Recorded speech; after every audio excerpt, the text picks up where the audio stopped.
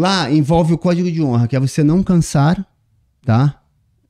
Não ter medo, né? E não demonstrar dor. Esse são, é o código de honra do Muay Thai. Então, por exemplo, por isso que. Que tá na regra também? Tá na regra de qualquer, qualquer esporte. Tipo, por exemplo, você vai jogar, jogar bola. Se o time cansa, vai, Vai perder. perder. Então, Mas aí tem o gol, né? no Muay Thai É, tem a postura, no tem a postura. Então, só que ele envolve o quê? Aí já entra o look muay, que é, o, que é a postura. Tá? Então, todo esse look muay está envolvido no código de honra. Então, por exemplo, você tem que ser aquele artista, tá? Aonde você toma o golpe e não acusa, né? A- a- aquele que você defende ou recua sem demonstrar que está com medo. E você não cansar daquele do cara que foi preguiçoso, que não, então é uma vergonha cansar lá. Então dificilmente você vai ver um, um tailandês do nicho, né, que luta ali no nicho, cansar. Isso é uma vergonha, não tem que cansar. Atleta não tem que cansar.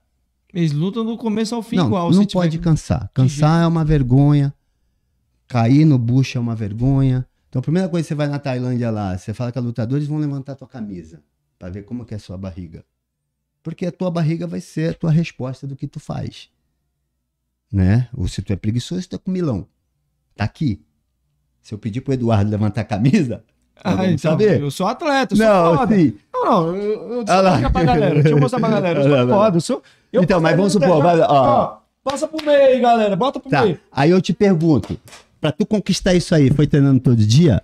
Pra caralho. Ó, ó Não. o treino aqui, ó o treino aqui, ó. Tu tá entendendo? Então, são coisas que não. Então, é, o cansar de você ter lutado, acertado, até perdido com garra e honra, ok, Sim. aceito. Agora, o cansar daquele que você tá sendo humilhado ali, tomando porrada, apanhando, sendo machucado, isso é uma vergonha. Porque você teve tempo pra treinar.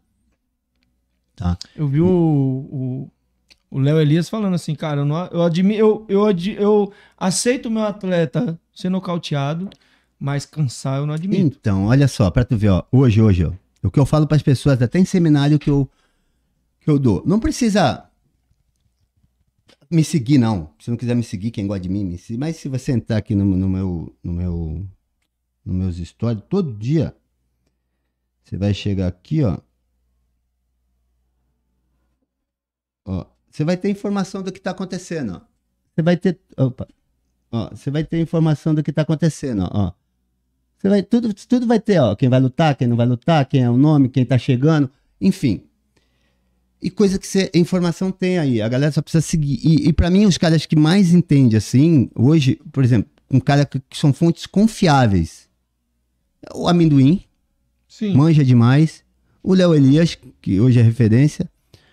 É, Eu acho que pra mim são os caras que, que você não, não precisa me seguir, mas se quiser, não gosta de mim, não quer me seguir, segue os dois, cara, já vai estar vai tá ótimo. Já vai tá- tá- ter informação já vai pra estar caralho. dentro da verdade. Porque o resto ainda não. Eu duvido, cara. Duvido, duvido.